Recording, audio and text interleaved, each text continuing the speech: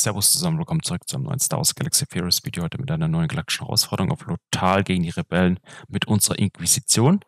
Kam gestern schon raus, ich habe es jetzt heute Vormittag gespielt, zeige gleich die Aufnahme und wir können Stufe 10 durchsprechen. Ihr braucht nur ein Team für Stufe 10 für alle Erfolge. Ihr braucht einen Charakter, am besten die neunte Schwester auf Relikt. Wenn die neunte Schwester nicht Relikt ist, vielleicht nur G12, aber zumindest sieben Sterne können es auf Stufe 10 dennoch klappen. Ich bin mir aber nicht sicher, ob das auch klappen würde mit einer G11 äh, 6 Stern neunten Schwester, weil die natürlich relativ häufig tauntet immer dann, wenn ein Imperiumsverbündeter angegriffen wird. Und wenn die Rebellen aufgrund ihres Modifikators natürlich kritten und dann mehrfach kritten und dann mehrfach angreifen, dann kann es passieren, dass eure neunte Schwester relativ schnell aus dem Spiel fliegt. Und dann habt ihr niemanden mehr, der den Schaden so ein bisschen absorbieren kann. Wir haben allerdings heute als Gegner die Phoenix-Leute, also nicht irgendwie CLS und Co. Obwohl die Phoenix-Leute, ich bin mir gar nicht so richtig im Klaren, ob die auch einen eigenen Modifikator haben. Die haben auf jeden Fall hier die Chancen, der Modifikator der Rebellen und wie gerade schon gesagt, wenn sie eben kritten, dann haben sie eine 100% Chance auf einen weiteren Angriff. Und diese Chance auf einen weiteren Angriff sinkt natürlich jedes Mal 25%, sonst wären die ja dem Dauerloop. Und äh, das passiert natürlich nicht. Also irgendwann hören sie dann schon auf.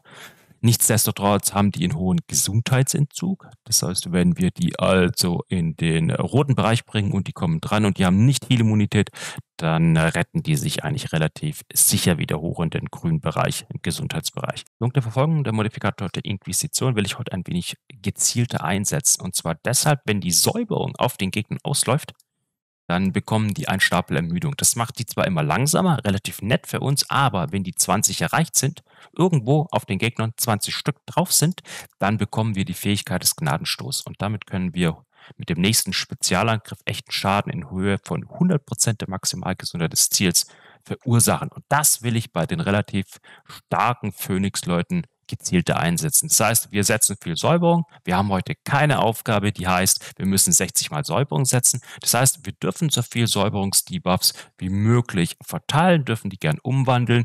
Die Phoenix-Leute dürfen auch gerne selbst diese Säuberungsdebuffs entfernen. Wenn dem so sein sollte, dann warten wir einfach drauf, bis Ermüdung auf 20 gestackt ist, bis dieser Gnadenstoßeffekt auf uns verfügbar ist und dann setzen wir den ein Stück weit gezielter ein. Ich glaube, ich habe ihn zwei, dreimal eingesetzt, bin mir nicht mehr ganz so sicher, aber das ist schon ein recht netter Effekt, den wir heute für uns nutzen möchten.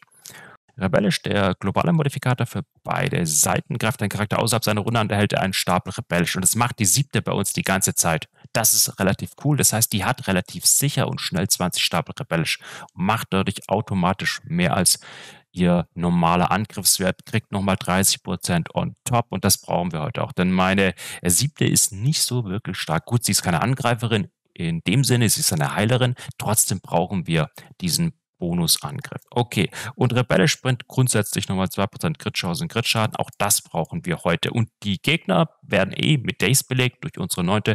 Deshalb wird diese außerhalb der Runde angreifen für die nicht möglich sein. Die sind ein bisschen schneller als wir. Das heißt, auch ich musste hier und da ein bisschen neu starten, einfach bis es so geklappt hat, dass alle noch standen einigermaßen. Am besten ist es natürlich, wenn sie auf die neunte Schwester gleich angreifen und nicht unbedingt auf meinen fünften Bruder, weil der hält natürlich viel, viel weniger aus als meine neunte Schwester. Kurz zu den Erfolgen. Wie gesagt, wir müssen heute nicht 60 Mal Säuberung setzen oder sowas. Das ist ja immer eine recht blöde Aufgabe. Wir müssen nur den Kampf generell abschließen. Wir müssen den Kampf abschließen mit einem vollen Team aus Inquisitionseinheiten. Wir müssen Thema Tarnung absolvieren. Das macht der achte Bruder von selber. Da müsst ihr nicht drauf achten. Das erledigt er. Ihr müsst nur durchkommen. Er muss überleben. Darf natürlich am Anfang nicht draufgehen, denn hier unten auch vierter Erfolg gesagt, wir müssen den Kampf abschließen, ohne eine Einheit zu verlieren. Und wenn wir das auf jeden Fall sicherstellen, dann lebt ja der achte Bruder auf jeden Fall und das Thema Tarnung macht der Junge von ganz alleine. Okay, dann äh, zeige ich mal ganz kurz meine Inquisitoren, damit ihr ungefähr mal wisst, mit was ich gekämpft habe und mit was ich denn auch diese Stufe 10 auch letztendlich dann geschafft habe. Ich habe logischerweise mit dem fünften Bruder gespielt. Ihr müsst nicht unbedingt mit dem fünften Bruder spielen. Die meisten benutzen den fünften Bruder, weil er einfach das stärkste Lied hat, die meisten Bonis hat für alle und äh, deswegen ist er auch mit nur 6 Sternen und G9 dennoch ein hervorragender Leader. Dann ganz klar habe ich noch einen achten Bruder, G9, 5 Stern und eine siebte G10 mittlerweile sechs Stern, aber auch sie ist relativ schwach. Das heißt, wenn die Rebellen auf der anderen Seite, die Phoenix-Leute, sie anvisieren von Anfang an, gerade ein Sepp oder eine Hera, dann fliegt meine siebte Schwester relativ sicher raus und dann muss ich neu starten. Das musste ich auch drei, vier Mal machen. Das äh, war eben so heute.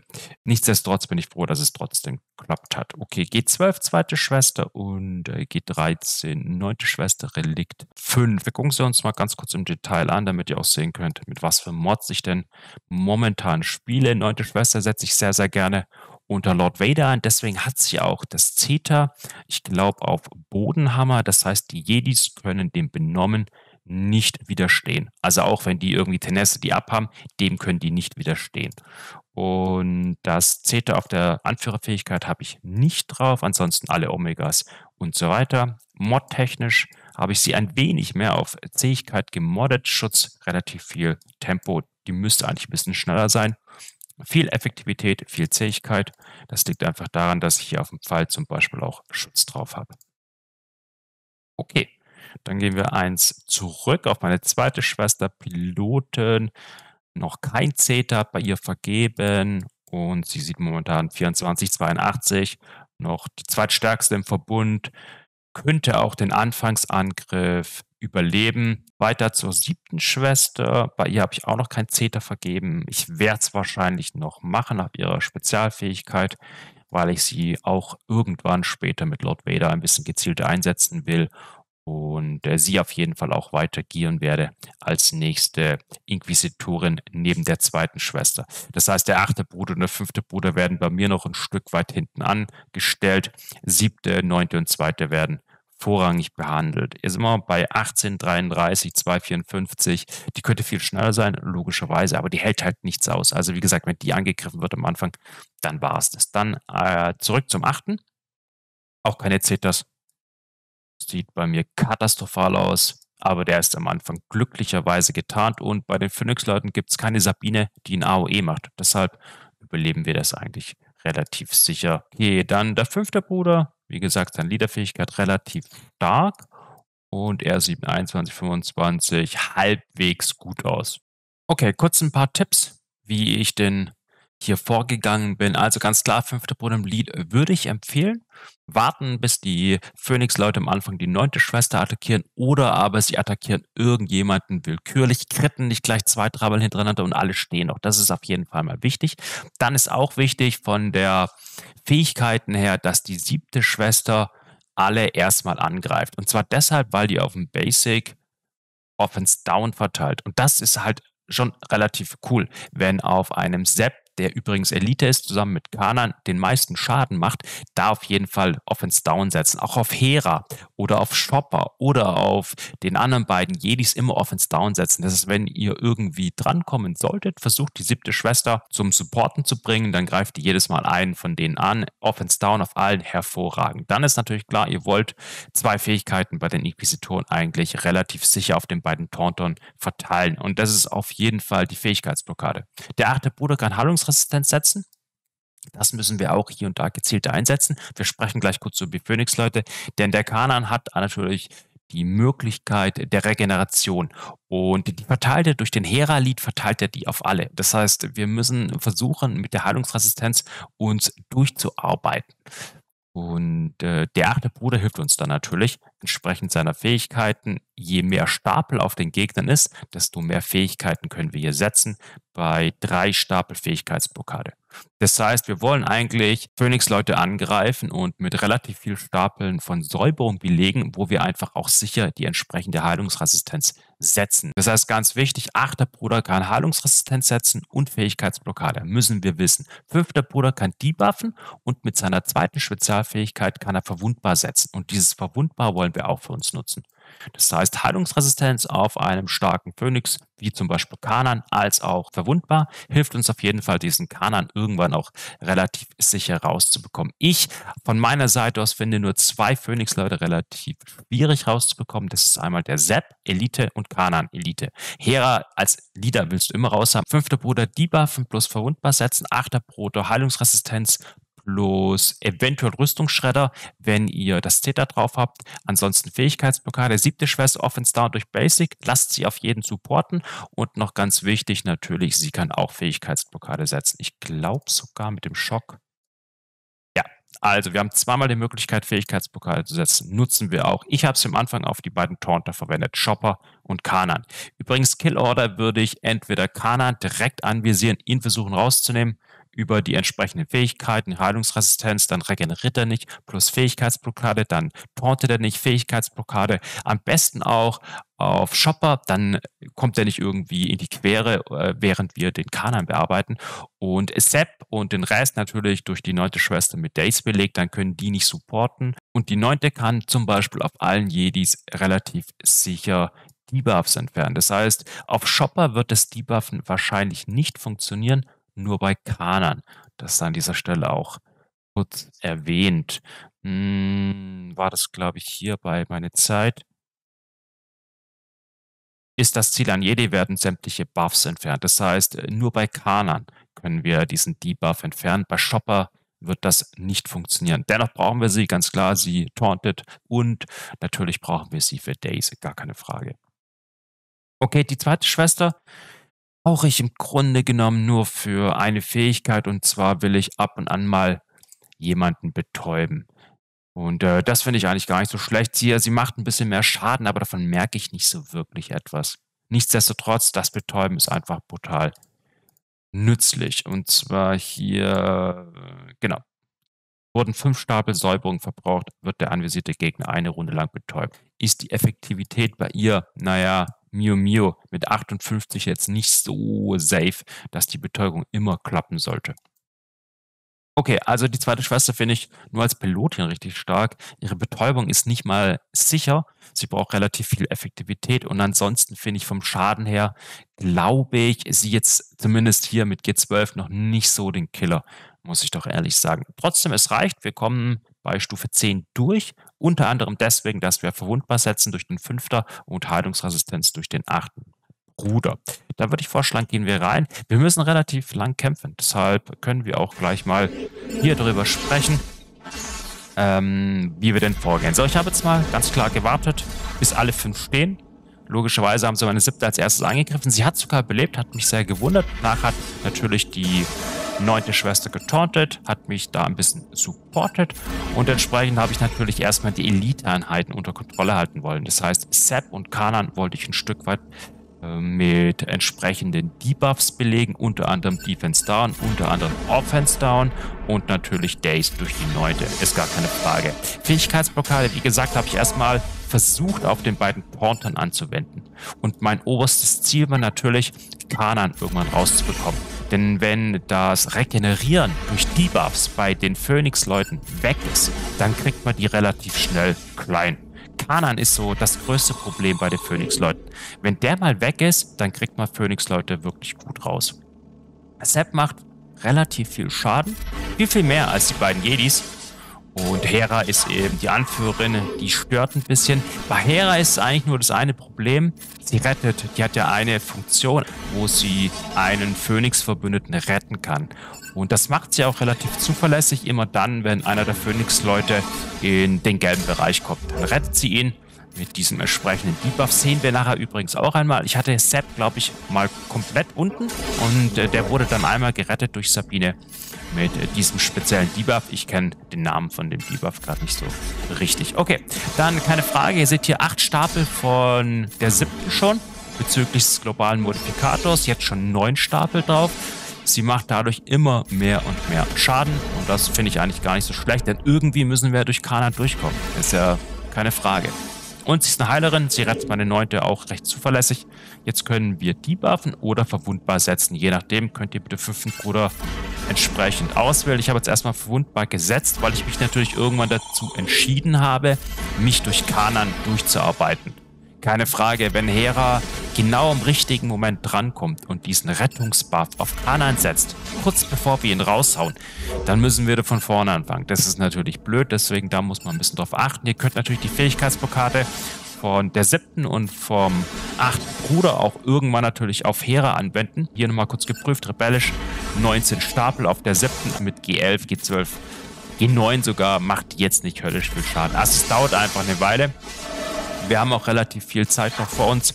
Ich musste wirklich teilweise, ich glaube neun Minuten musste ich an den Phoenix-Leuten rumdoktern, bis ich die irgendwann mal rausbekommen habe. Aber durch die Heilungsresistenz war es relativ sicher, als auch durch Verwundbar, durch den fünften Bruder, dass ich Kanan irgendwann klein kriege. Das ist äh, relativ safe. Natürlich ist es ein bisschen blöd, dass Chopper so ein bisschen dazwischen tauntet, aber wir haben ja zwei Debuffer. Also das äh, sollte nicht das Thema sein. Natürlich, Chopper ist kein Jedi, das heißt, neunte funktioniert bei ihm nicht. Wir haben Kana jetzt erledigt. Jetzt ist die Regeneration der Phoenix-Leute weg. Das heißt, das Debuffen durch den fünften müsst ihr euch für Chopper aufheben. Auch so ein kleiner Tipp. Dann, Sepp macht viel, viel mehr Schaden als der Jedi hinten. Das heißt, ihr, wenn ihr schon irgendeinen Damage-Dealer auf der anderen Seite ein wenig ja, bearbeiten wollt, rausnehmen wollt, Offense Down sicher setzen wollt, habe ich ja am Anfang gesagt, das kleinen Tipp, verbraucht erstmal überall äh, Offense Down durch die siebte. Gnadenstoß ist aktiviert, seht ihr? Auf den, auf den äh, Inquisitoren. Das heißt, hier können wir entsprechend echten Schaden verursachen. Ich habe es jetzt gerne auf Chopper anwenden wollen. Hat nicht so wirklich sicher funktioniert. Fand ich sehr schade. Dann habe ich natürlich diese Betäubungsfunktion der zweiten Schwester auf Sepp benutzt, weil er einfach der Damage-Dealer ist. Und wenn der jetzt mal so ein bisschen außen vor ist, kann ich mich zum Beispiel um Hera kümmern. Chopper als auch Ezra sind die beiden schwächeren. Das heißt, die könnt ihr so ein Stück weit links liegen lassen. Kana, Sepp bei der Lita, Hera ist Ehrenführerin, logisch. Das heißt, die drei müsst ihr ins, ins Visier nehmen. Den Rest könnt ihr so ein bisschen außen vor lassen.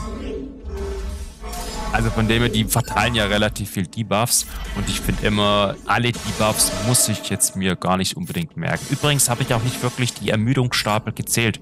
Ich habe einfach mein Ding durchgezogen, habe auf allen Säuberungen verteilt und habe einfach geguckt, dass ich entsprechend die Leute unter Kontrolle halte.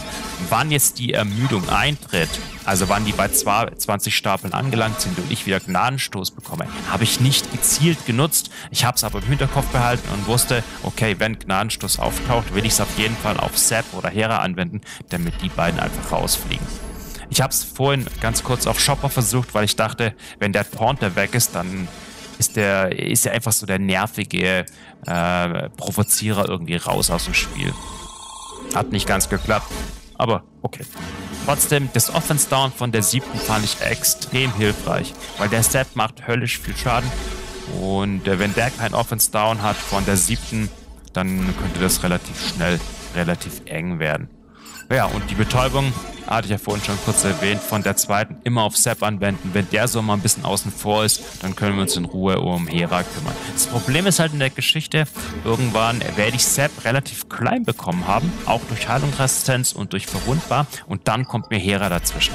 Das heißt, ich habe im richtigen Moment vergessen, Hera eine Fähigkeitsblockade aufzuerlegen, damit ich einfach durch Sepp dann irgendwie letztendlich auch durchkomme. Wer übrigens ein Zeta frei hat und das auf den achten Bruder vergibt, kann auch durch den achten Bruder Rüstungsschredder setzen. Dann kriegt ihr die Jungs noch schneller down. Hab ich aber nicht, dieses Zeta. Das ist halt so. Das kleine Problem dadurch macht der achte Bruder natürlich ja, vom Schaden her eh nicht so viel, aber er kann auch nicht so viel supporten, bis auf entsprechend der Stab natürlich Heilungsresistenz und Fähigkeitsblockade nützlich. Aber es ist, glaube ich, ein Angreifer und das bringt mir natürlich in der Form nicht ganz so viel. Außerdem finde ich die Animation, wie er da so dasteht, nicht so richtig cool. Okay, jetzt ist Connor die Geschichte wieder eingetroffen, die ich vorhin schon erzählt hatte. Der Shopper ist nicht so das Problem, obwohl er viel ausweicht. Der ist einfach nervig, dieses Taunten dazwischen, im Grunde genommen. So, die Waffen durch den fünften, klappt relativ zuverlässig. Und dann auf geht's wieder Richtung Sap. Wir könnten theoretisch Sap betäuben. Ich habe jetzt erstmal gedacht, jetzt tue ich kurz Ezra betäuben, weil ich eh Sap raushaben will. Und jetzt kommt genau der Punkt. Hera kommt gleich dran und rettet ihn. Ihr werdet gleich den Debuff sehen. Und da habe ich einfach nicht früh genug die Fähigkeitsblockade, die jetzt auf Sap sitzt, die hätte ich auf Hera anwenden müssen. Das heißt, da müsst ihr ein bisschen drauf achten, dass ihr im richtigen Moment Hera mit einer Fähigkeitsblockade belegt, damit die auf keinen Fall Sepp rettet. Denn den könnte ich jetzt relativ sicher rausbekommen, kann ich nicht, weil wegen diesem blöden Debuff von Hera. Aber der fliegt jetzt eh durch den AOE raus und dann habe ich, glaube ich, Gnadenstoß wieder bereit und äh, kann ihn rausnehmen. Aber ihr seht schon, der Kampf ist relativ gut unter Kontrolle, wie ich doch finde. Das Offense da, und ich kann es gar nicht oft genug erwähnen, von der siebten auf alle von den Phoenix-Leuten ist super, super hilfreich. Und ich hätte es ehrlich gesagt nicht gedacht, dass das funktioniert mit so schwachen G9 Inquisitoren, wie ich sie doch habe. Klar, die äh, R5 9. hilft mir natürlich brutal, das ist gar keine Frage. Trotzdem hätte ich es nicht gedacht, dass das mit den relativ schwachen Inquisitoren funktioniert. Weil die Phoenix-Leute sind durch die Regenerationsfähigkeit von Kanan und das Verteilen der Fähigkeiten doch eine relativ starke Fraktion. Also die Phoenix-Leute darf man nicht unterschätzen. So, Sepp habe ich jetzt rausgenommen, wieder mit Gnadenstoß. Habe also zweimal Gnadenstoß anwenden können, fand ich ganz nützlich. Und äh, der fünfte Bruder bekommt jetzt auch gleich seine 20 Stapel rebellisch, macht dadurch auch ein bisschen mehr Schaden. Aber ich hatte es ja vorhin schon erwähnt, das bringt jetzt nicht ganz so viel. Weil ob ich jetzt äh, 2000 Damage mache oder 2500 Damage, das ist äh, ja nicht aussagekräftig bei so schwachen Inquisitoren. Das sieht, glaube ich, irgendwann später ein bisschen anders aus, wenn die Inquisitoren einfach eine höhere Reliktstufe haben. Da müssen wir noch ein bisschen warten. Jetzt hat sie wieder Shopper gerettet. Wieder schlecht von mir. Also wenn ihr da ein bisschen Hera durch die Fähigkeitsblockade stärkt unter Kontrolle bringt, ist es viel, viel hilfreicher und ihr spart Zeit. Und ähm, das war ein bisschen doof. Ich habe, wie gesagt, mich erstmal um die Elite-Halt gekümmert, um Kanan und um Sepp. Und habe Hera eigentlich versucht unter Kontrolle zu halten, hat aber nicht immer so zu 100% geklappt. Jetzt einfach ein bisschen Zeit, aber äh, sollte trotzdem funktionieren. Und der kleine Shopper ist halt so eine Ausweichbombe. Der weicht immer aus. Offense up auf Ezra. Blöd, aber Ezra ist nicht Elite. Ist gut managebar. Ihr könnt natürlich auch das Betäuben von der zweiten auf Hera anwenden. Wäre auch eine Möglichkeit. Also immer darauf achten, dass ihr fünf Stapel auf den Phoenix-Leuten drauf habt. Dann könnt ihr mit der zweiten Schwester betäuben. Das ist eigentlich relativ cool. Ich glaube auch, dass wir irgendwie Buff-Immunität setzen können. Ich weiß aber nicht mehr, ob das der achte Bruder war. Also ich bin noch nicht zu 100% bei den, bei den Kids durchgestiegen. Gnadenstoß ist bereit. Und sobald wir eine Spezialfähigkeit einsetzen, die jetzt aktuell nicht zur Verfügung steht, ich habe gerade überall Cooldowns drauf, dann können wir Gnadenstoß relativ sicher einsetzen. Zwar ein Visual Bug, aber Hera ist draußen und jetzt können wir es auf Auto laufen lassen, habe ich auch schon eingestellt, denn Ezra war nie ein Problem im kompletten Kampf. Ezra konnte man immer komplett links liegen lassen. Wenn der mal Offense Down hatte durch die siebte, war Ezra kein Problem mehr. Aber ich fand Chopper jetzt auch nur nervig, aber äh, keine Gefahr letztendlich. Also doch eine relativ sichere Stufe 10 mit doch etwas schwächeren Inquisitoren war ich sehr glücklich darüber, dass ich jetzt auch nicht irgendwie 20 Mal neu starten musste. Hat ganz gut geklappt. Wir mussten nicht irgendeine Aufgabe erfolgen, aller 60 Mal Säuberung setzen. War ich auch sehr, sehr glücklich. Also doch äh, relativ zufrieden mit diesen relativ schwachen Inquisitoren Stufe 10. Nicht viel Zeit investiert, nicht umgemodert, nichts verändert irgendwie. Und die rote Kiste ist unser. Und das heißt eben zwei weitere Omikrons. Vielleicht hier auch noch ein kurzer Tipp für alle, die den Kampf abschließen wollen und die zehnmal Tarnung erhalten möchten, ohne eine Einheit zu verlieren. Auch hier könnt ihr natürlich mit relativ vielen anderen Möglichkeiten spielen. Was Tarnung angeht, ganz klar, ihr könnt mit Rebellen agieren. Also ähm, hier einfach die beiden Wookies mitnehmen, Han Solo und R2D2 könnt ihr relativ sicher unter der Smoke verstecken und das mit der Tarnung absolvieren. Gar kein Problem. Dann könnt ihr mit Sith wieder arbeiten. Hatte ich schon des Öfteren vorgestellt ihr Darth Maul ins Lied nehmen, da ist es relativ safe. Oder aber ihr nehmt einfach Charaktere mit, die sich selber in Tarnung versetzen. C3PO kann sich selbst in Tarnung versetzen. Darth Talon von den Sith kann sich auch selbst in Tarnung versetzen. Ihr könnt natürlich auch mit den Separatisten spielen und Kondoku mitnehmen. Der versteckt nämlich alle, die Angreifer sind. Alle Nicht-Tank-Separatisten werden getarnt. Könnt ihr auch mit Kondoku machen. Also da gibt es so brutal viele Möglichkeiten, wie der durchkommt. Und dann nimmt er noch einfach eine galaktische Legende mit. Dann sollte das mit den Thema Tarnung, glaube ich, nicht so das Problem sein. Das klappt eigentlich relativ sicher und zuverlässig. Gerade hier auch bei den Separatisten und Grievous, sobald der Magna Guard dabei steht, sind alle erstmal getarnt. Also super, super sicher. Ich glaube, das Thema Tarnung sollte für die wenigsten das große Problem darstellen. Okay, dann war es das für heute mit der heutigen galaktischen Herausforderung auf Lotal und wir sehen uns bald wieder. Servus.